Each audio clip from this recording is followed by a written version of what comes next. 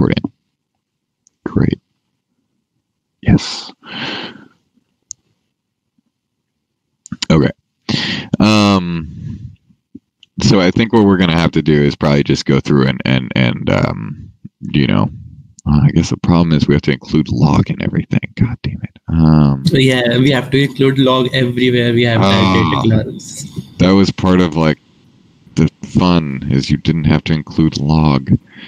Uh, um, Maybe we so- can find a workaround for a specifically log. Yeah, you know, I think so. Actually, now that we're thinking about it, um, because what do we do? I mean, a log is like a basically. Yeah. Oh my God. What? Okay, we were making this, or I was making this way harder than it fucking needed to be. I'm sorry. Um, big surprise. That's always how it goes. Um, so. Yeah, it should just be command, uh, util CLI, command, um.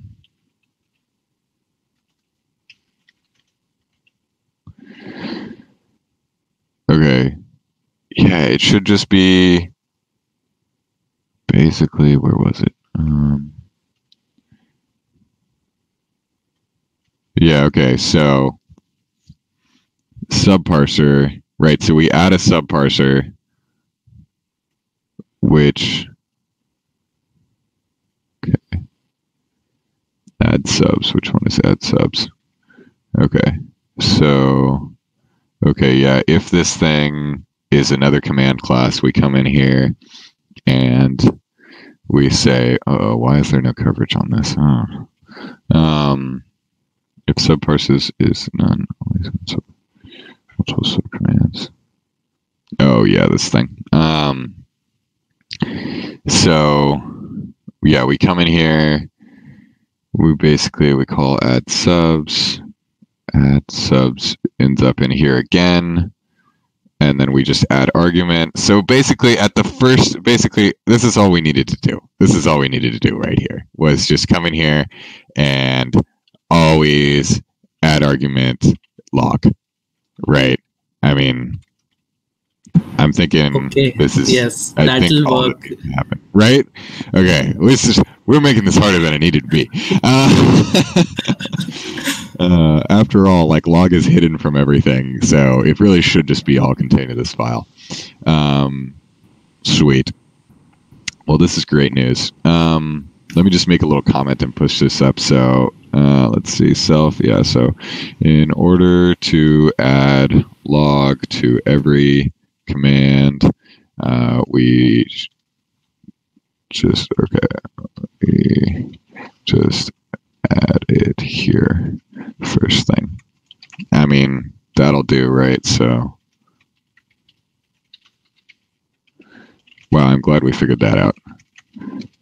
Um, I'm sorry, I'm I'm stubborn on things sometimes. Sometimes, sometimes, uh, we need to. No, the need- thing is let, that let, let me know if I'm being ridiculously stubborn for no reason on some some things because no, I wanted to work it like that too. yeah, right. It was like it, it felt like that would be great, right? It would just uh, keep the things the same as they were. uh huh. And it would all look so clean. Oh well. Uh, okay, so to do log, um, and then let me just push this up here. And let me make a note that can you take this from here then basically go through and, and do the rest of them? Yeah, yeah, yeah. Okay, thank you. So the Okay, so thing is that only log will be added, and I'll have to add uh, things like if there is sources, arc sources being yeah. inherited, then I'll have to just add it again somewhere else where it is Uh-huh. being inherited. Yeah, we'll just have to copy paste it. And I mean, one thing that we could do is we could just like define a bunch of fields, right? Um, because we have the field um, thing, and so basically, like you know, equals field. Um, uh, let me just say what I'm talking about here. Um, Right. So if we're doing like equals field config loader, we could just say, mm, you know, like we could have something in util CLI that's like a bunch of just um, um, fields that are predefined. So you can be like default blank, right? Or like blank field. Um, so for example, if we had, um, mm, let's see, what's a good example of this? Um, yeah, I guess sources would be the best example. Um, yeah, sources is the best example because so many things use it. So.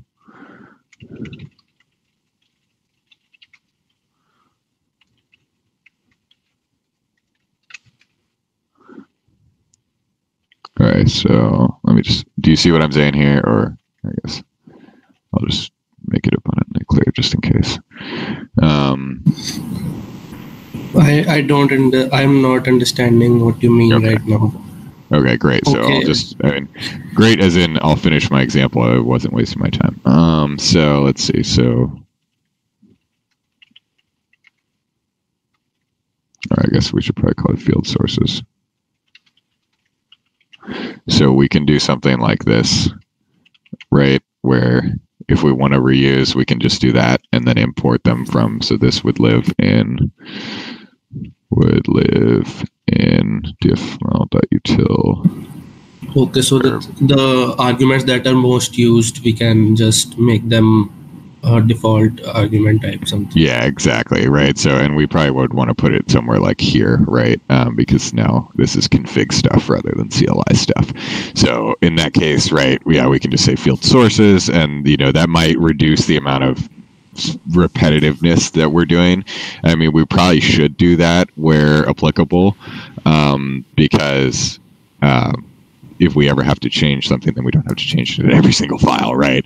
Um, so anytime if you're running across things and you're noticing that they're the same, then probably just stick them in into into here, and uh, and then we'll be we'll, we won't have to change them later if we have to change them for some reason. Oh, okay, okay. Um, okay, so let me just uh, add that. Um, uh, split to do split out fields. Um, God damn it. Uh,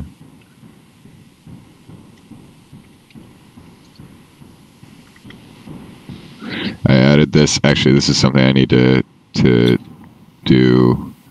Is oh wow, that screen is really big. Um, okay, uh, I'm really used to having. Oh, it's it's zoomed in.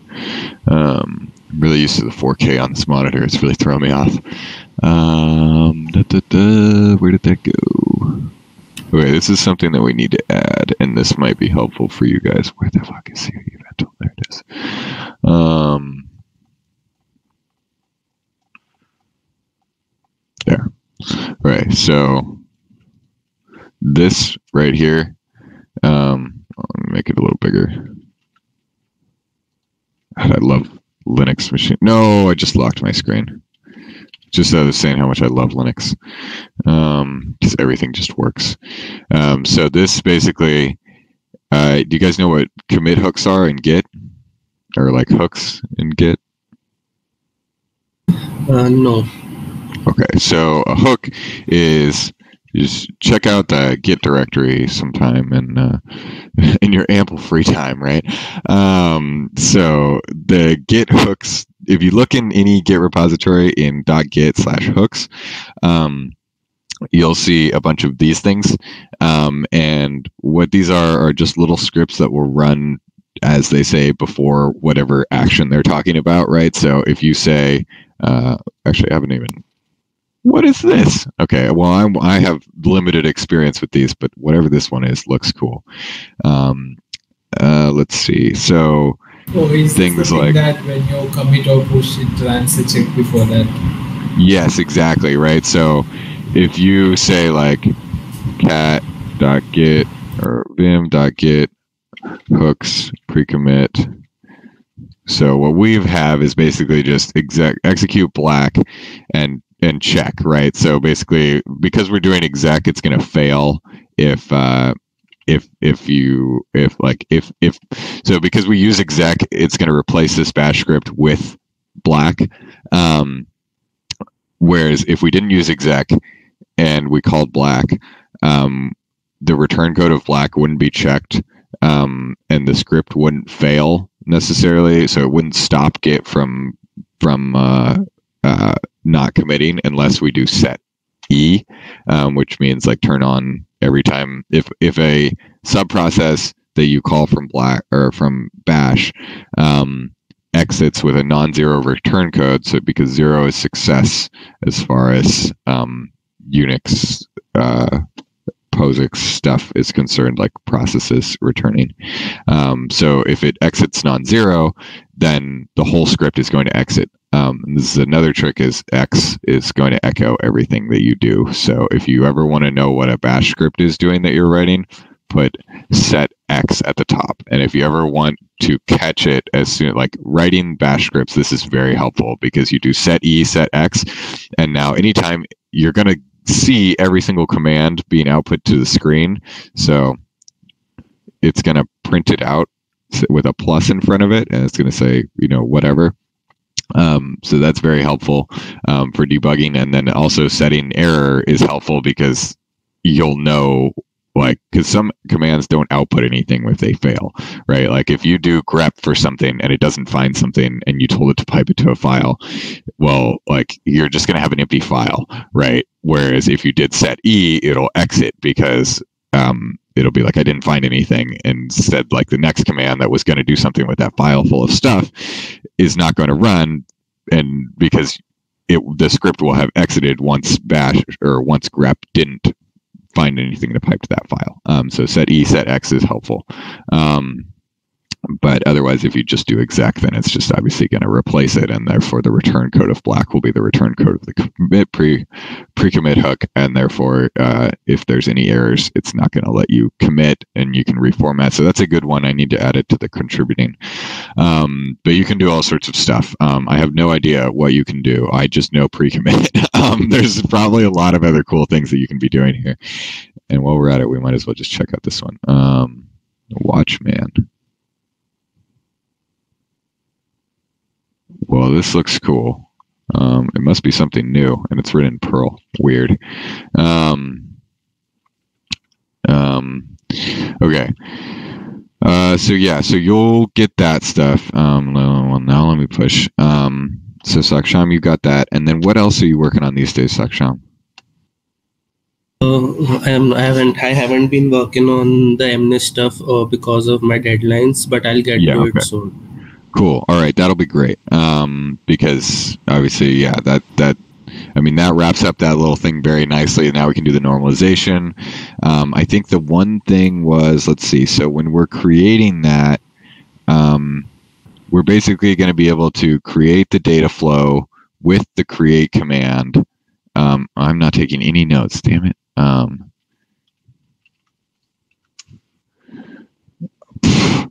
Okay, watch out. Sorry, I'll be right back. I guess.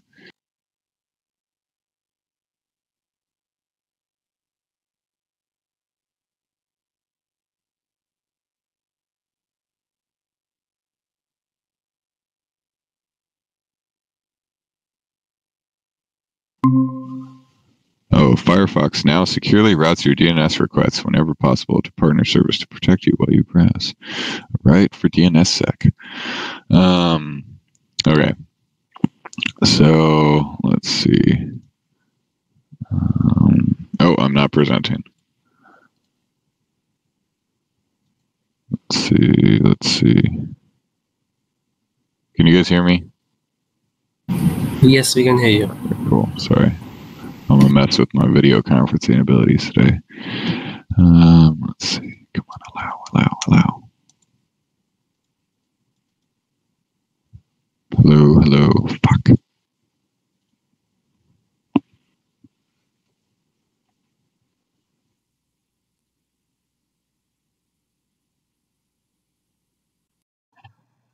All right. Okay. Um, hello, hello, hello, hello. Where's my? All right. Oh no, it's super bad. All right. Well, my other computer is frozen. So let's see. This is today is not a good day for my video conferencing. I'm sorry. Um, let's see. I guess we don't really have that much to talk about. So basically we we figured out how to get unblocked on the config stuff. Um, we um, you're going to do the MNIST stuff. We'll normalize it. I think what I was going to say is that I wonder if I can share my screen on here. Probably not. Um, no, of course not. Why would I think that would work? And now this is frozen.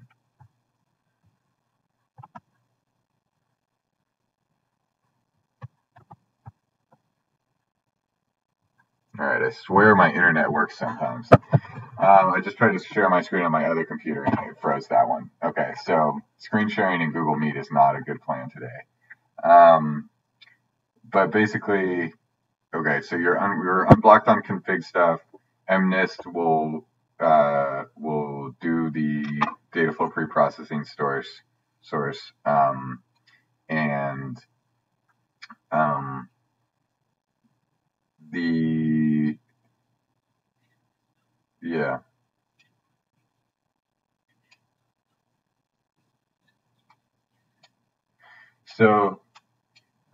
that's that's what i'm thinking is is we should do basically what what we should do here is we should oh.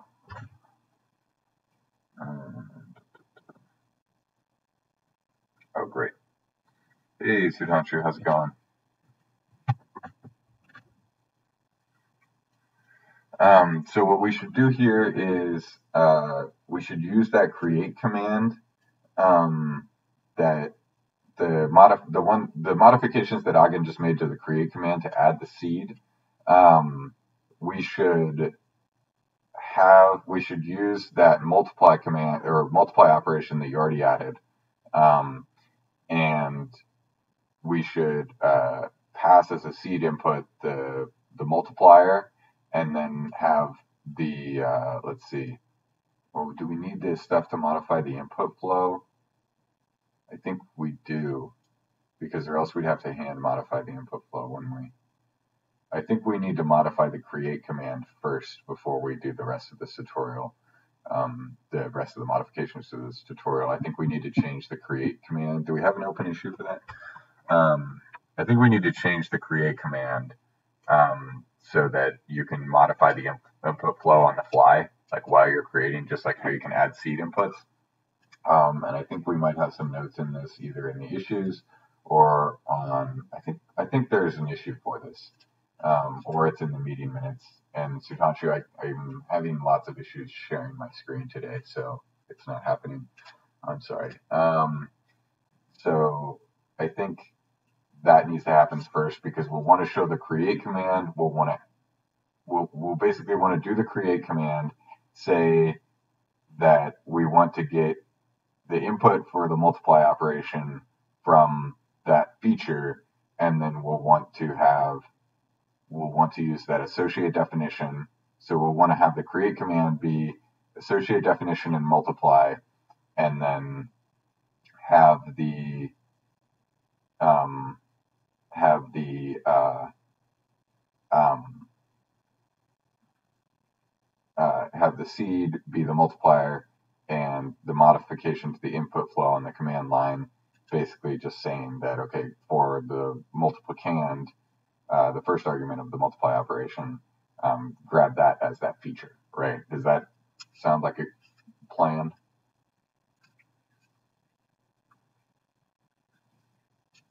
Yeah. Yeah, and I think we have some. I think we have either an issue for it with. I think we talked about using the parse inputs action because that splits on an equals sign, and then we'll maybe need to write like a converse tra- or traverse set operation, which would be the inverse of the traverse get, which is already in data, um, and that basically you can just butcher up uh, traverse config get, and you'll see how that works. Um, but that's probably the first step um, here, and then because that way we can show the creation all in one line, which means that when we, I think we have this in the unit tests, right? And so in the unit tests or the, the tests file in the examples directory for under MNIST or examples, MNIST, and then the test file, the reason why it's important to get all of this stuff into command line things rather than file modifications is because it's much easier to automate the tests, right? Um, so then we can just throw in that create command in, into the tests, um, and we'll we'll uh, we'll make sure that way it will always work and we don't have to do some kind of funky file editing, right? Um, within the test. Uh, does that all sound good?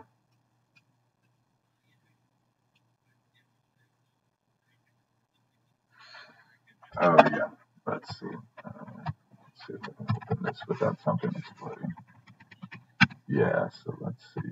Um,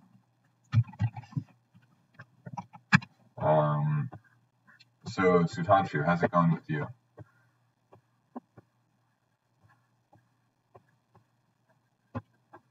Sweet. Um, so, I yeah, you were doing good stuff on these uh, adding stuff to no way sync. This one yet?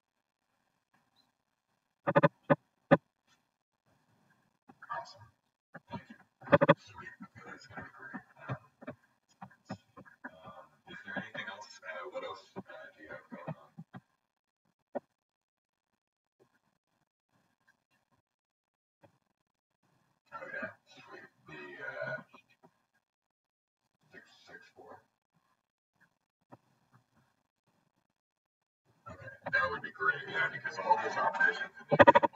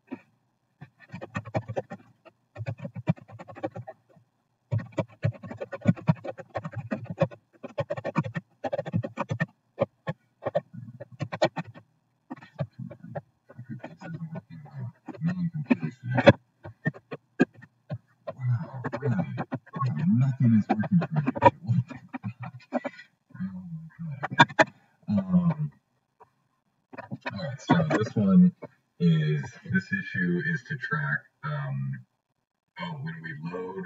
So, so this is the other thing is that um, when we load the operations, when we're doing data flow create or something, or like we load in a entry point loaded operation. So for entry point, or let's see, auto apply uh, decorator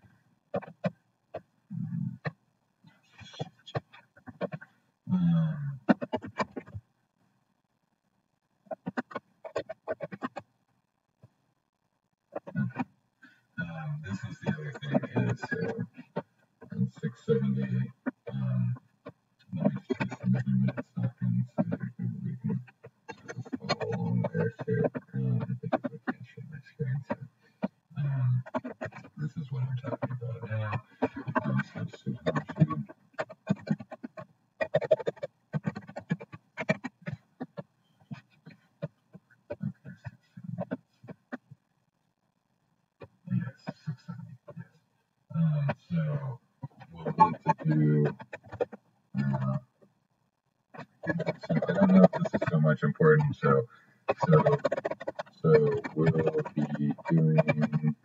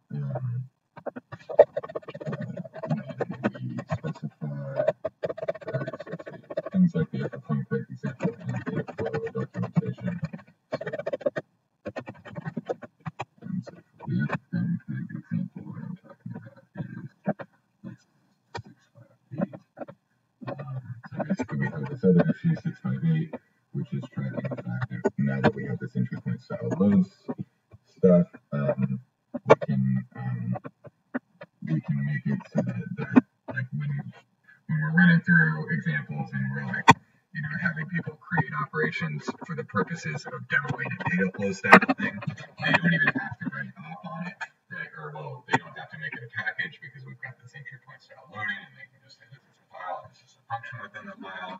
Um, um, they won't even have to add op to it. Basically, if they just do their type type hinting stuff onto the function and specify with entry point load, it will get converted into an application. So uh, we can do that before or after. Obviously, we can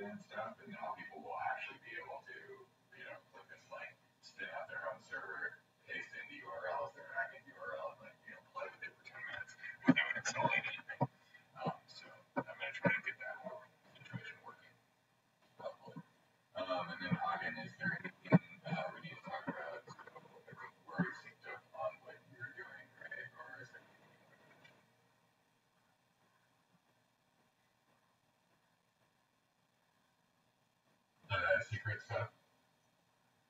The secret stuff. Okay, yeah. So, but let's let's get. Um, can you do the uh, can you do the stuff that we need for this piece first, though, before we start on that? Um, uh, basically, this. Let's see.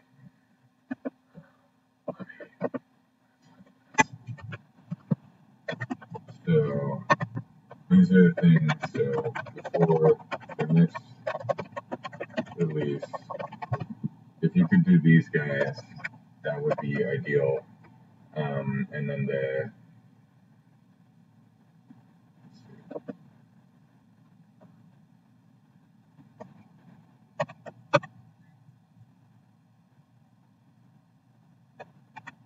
what?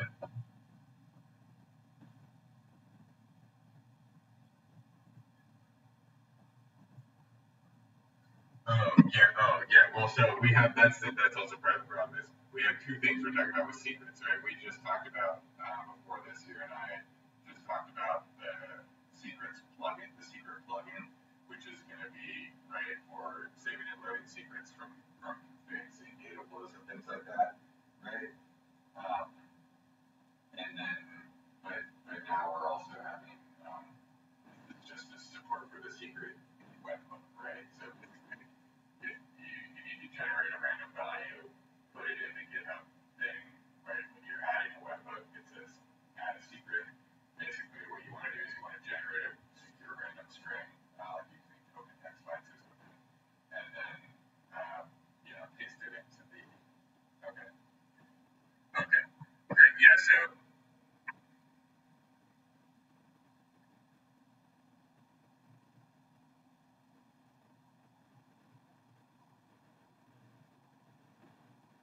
Yeah, shit. Well, I guess you gotta do both of those things. you gotta do both the secret and the related things then.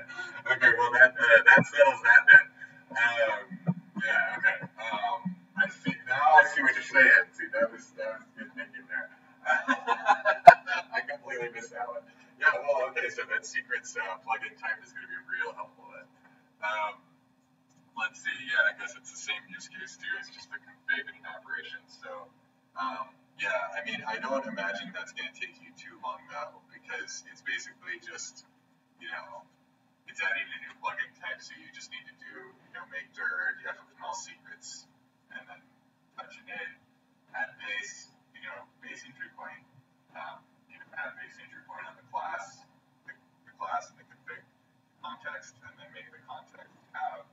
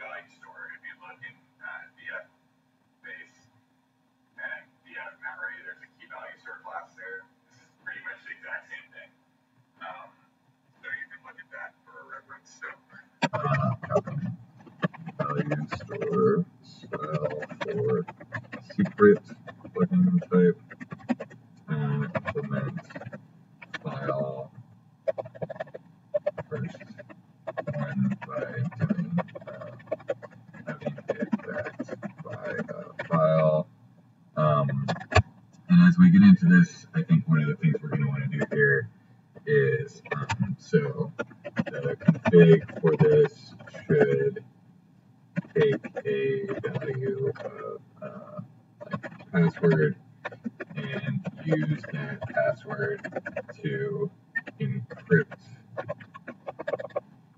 encrypt. Uh, actually, let's see if I can do that. That's going to give me a bunch of important tasks. Um, we'll just we'll just declare that this is a dumb, insecure secret source.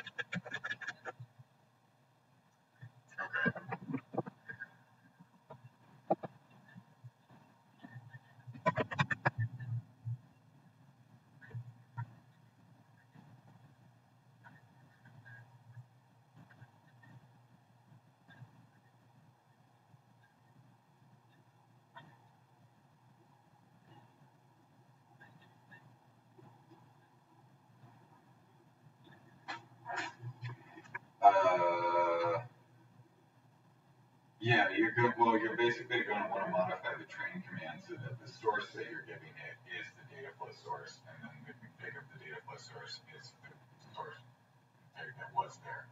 Right. So uh, let me sort of post this real quick. Is that? I feel like that. Sorry, that sentence probably sounded like nonsense. Um, uh, use cases.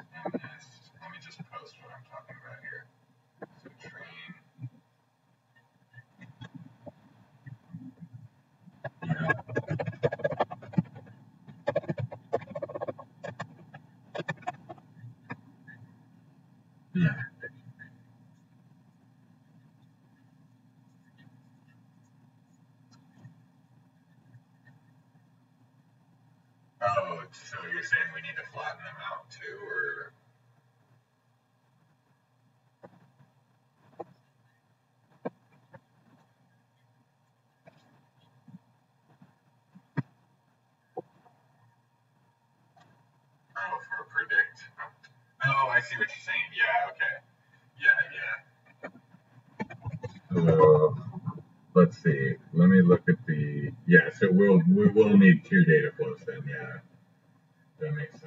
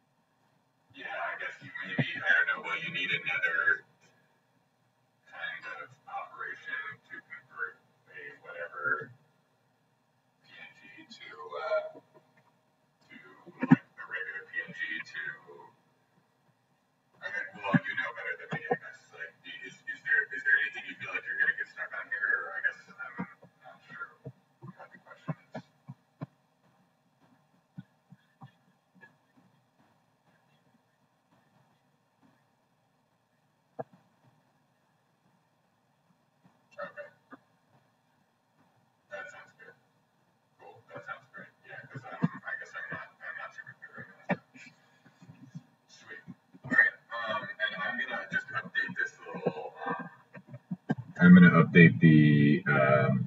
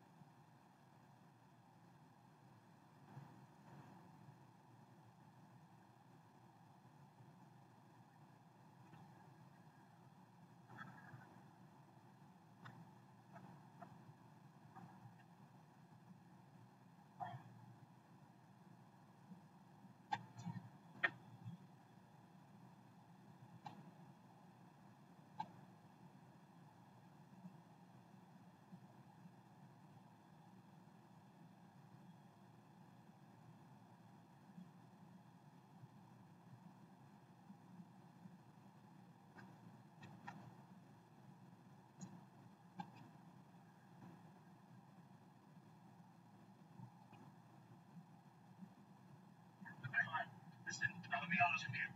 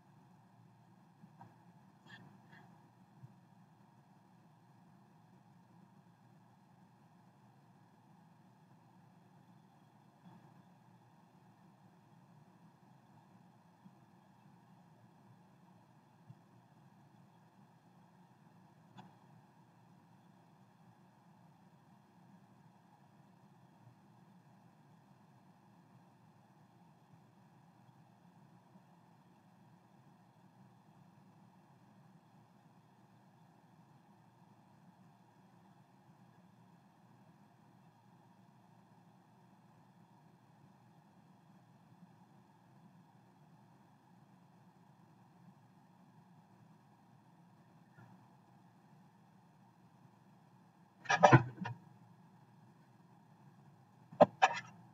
you.